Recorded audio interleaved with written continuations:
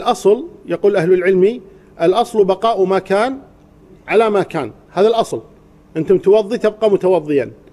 إذا قضية أن هل انتقض الوضوء أو لم ينتقض الأصل الوضوء. انتقاض الوضوء هذا وارد لكن ما ما تحكم بأن الوضوء قد انقض انتقض إلا بيقين. والعكس صحيح. إذا كنت متيقنا أنك انتقض وضوءك لكن شاك هل توضيت أو ما توضيت؟ تبني على اليقين. هذا الأصل هذه القاعدة.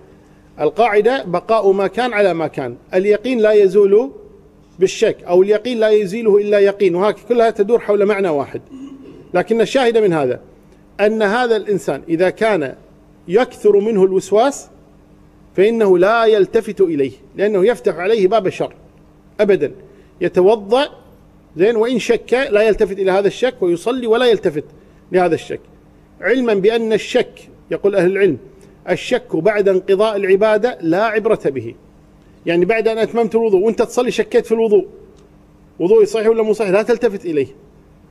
وأنت تصلي خلصت صلاة بعد ما انتهيت من الصلاة قلت كنا في ركعة ما سجدت فيها إلا سجدة واحدة. لا تلتفت إليه.